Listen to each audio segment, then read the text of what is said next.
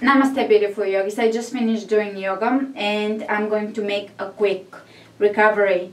Um, kind of like um recovery uh, smoothie slash pudding or whatever. I made mine before I started doing yoga and it is just it is just a quince, a persimmon and a little bit of stevia and a tiny bit of lime and a little bit of you know I always use strange um, things uh, sweet basil seed. It's like ch uh, chia seed. So if you don't have sweet basil seed which you can get from a uh, Thai store you can use chia seed or flax seed. I'm in a hurry because my camera is dying. So I just blended this with a little bit of flax. You can use flax milk or flax seed and water stevia and palm sugar or something like this. And that is it with cinnamon and I'm gonna eat actually. This is very thick. It's like um, it's like pudding. Uh, but it's uh, basically the quince. So now the way you can make it is I'm going to experiment now and put some beautiful now they're fresh in season cranberries. Yes.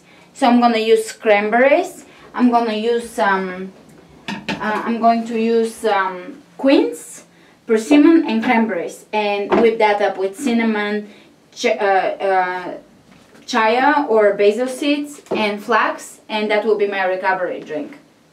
So my uh, recovery uh, drink from the yoga session will be this uh, the cranberries that I showed you. Then I make uh, raw uh, relish and things like this with them which I will maybe share with you later. But for now I'm just going to use a little bit of lemon.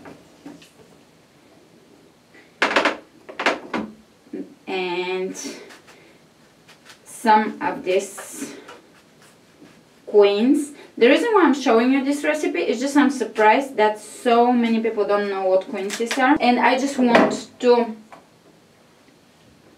to make everybody aware of this just phenomenal, spectacular fruit.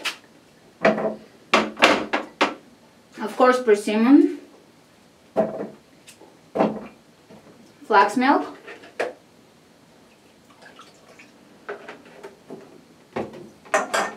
sweet basil seeds, or chia seeds or flax seeds to thicken it, a little bit of stevia or palm sugar,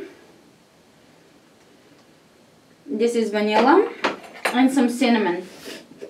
Now you can put banana in this. Um, I will eat bananas after this drink a bit the cranberries will make it tart. So I'm just gonna keep it kind of on the tart side so I can enjoy the benefits of uh, cranberries. They do not combine well with bananas. It's not a big deal if every so often you you don't combine everything perfectly but overall if you're something that you're gonna be having every day try not to mix sweet fruits with tart sour fruits too often. It is not the best combination. So um, that is my recovery drink and I will blend it up. Thanks for joining me today. Namaste.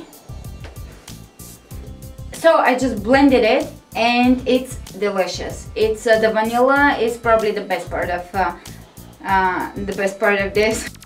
But it's very delicious just like this and I think it's a perfect recovery. I never ever get sore sore anymore sore muscles as long as I uh, keep up with my um, high in raw fruits and veggies diet. I used to get really sore back in the day but nowadays um, it's quite rare. I would get sore if I seriously overdo it and then I do not eat immediately.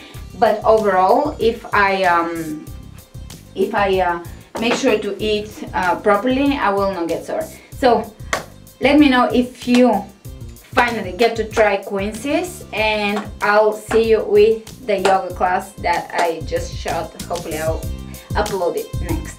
Namaste